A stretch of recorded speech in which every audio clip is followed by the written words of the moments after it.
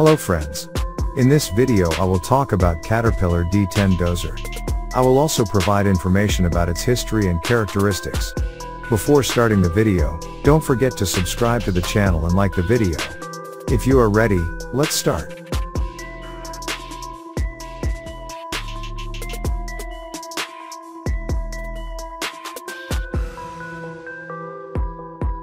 On its introduction in 1977, the Caterpillar D10 raised quite a few eyebrows. Firstly because of its sheer size and secondly the odd configuration of the undercarriage. The concept of an elevated sprocket drive wasn't a new one and dated back to CL Best's Model 45 Humpback of 1914 and Cletrac's F-Series tractor of 1934. It wasn't until Caterpillar introduced its D10 that the idea again came to public attention. Following the introduction of the D10, the entire Caterpillar range of track-type tractors have received the elevated sprocket design at one time or another, with the exception of the D3. It is interesting to note that none of Caterpillar's competition offers a machine in this drive configuration. Caterpillar began serious design development of what was to become the D10 in 1969 in response to requests for a tractor larger than the, then, current D9G. In fact the idea of a tractor larger than the D9 was mooted as far back as 1955.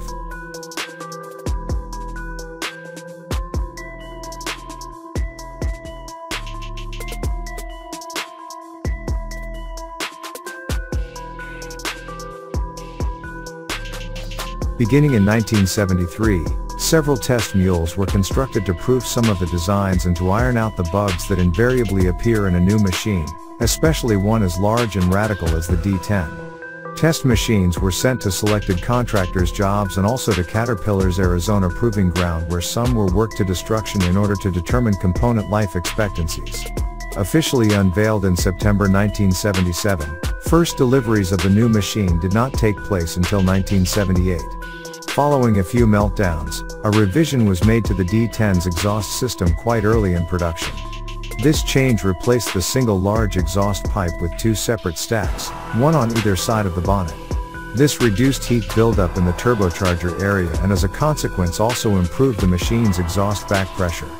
Consideration had obviously been given to this problem during design as the machine came delivered from the factory with a fire suppression system in the engine bay.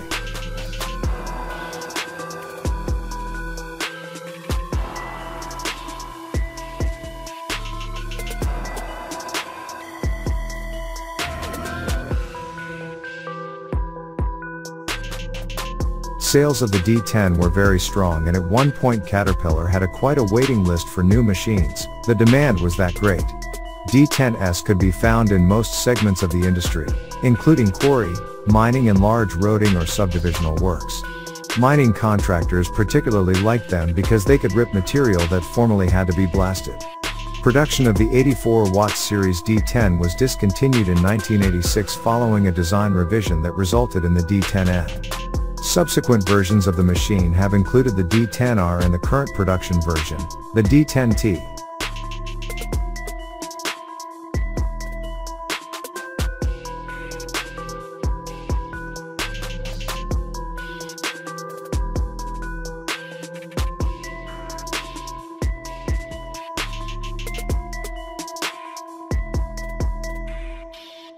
As this video is a retrospective look back, we will be examining the first production model of the machine, the 84 watt series. It was powered by a 700 horsepower Caterpillar D348 TA V12 twin turbocharged diesel engine. This was mated with a Caterpillar barrel type planetary powershift transmission. One of the principal considerations when designing the D10 was ease of servicing and to this end the transmission or final drives could be extracted very easily in just over an hour due to the modular design of the tractor. Another feature, since copied by some other manufacturers, was the independent bogies that held the bottom track rollers. These allowed the tracks to wrap over an obstacle rather than ramp up it, reducing point loading on the tracks and adding to the machine's traction. There was a track idler at both ends of the track frame and a very large hydraulically adjusted recoil cylinder maintained track tension.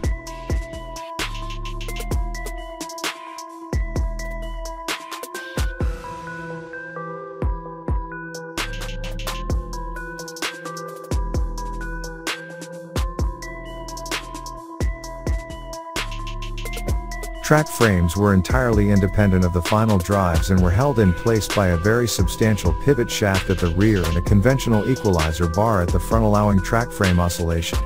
This arrangement prevented any shock loads being transmitted to the machine's final drives. Isolation mounted from the tractor frame was the operator's compartment. This featured a suspension seat angled off at around 30 degrees to the right to allow easy visibility to the ripper and blade. The entire interior was very well laid out and obviously the folks at Caterpillar had put a lot of thought into its design. All the control levers featured short throws and were closely grouped to minimize operator fatigue. No pedals or levers penetrated the floor plate allowing easy access in and out of the cab with the added benefit of heat, dust and noise reduction.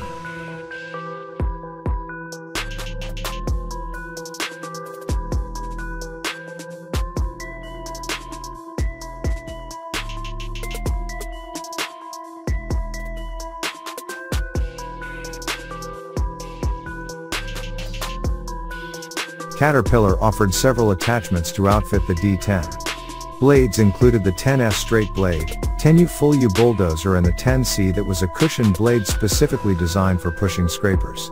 Angle blades were not offered nor, apparently, a logging winch.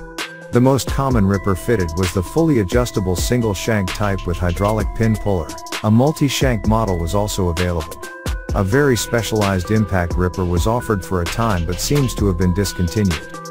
You could have a variety of track shoe widths and a choice of open ROPS or fully enclosed ROPS cab with all the trimmings.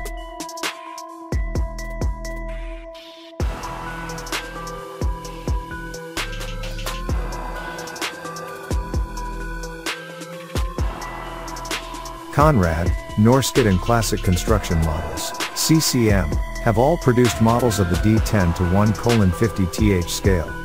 Conrad's models can be an early D10 with the single large stack, as a later D10 with the twin stacks and has also been issued as a D10N. Norscot's D10 was issued as a D10N and latterly a D10T but is crude in comparison to the Conrad model. The CCM model represents an early single-stack D10 and was issued as a push cat with the 10C blade and open ROPS while the second issue came with a semi-U blade, ripper and ROPS cab.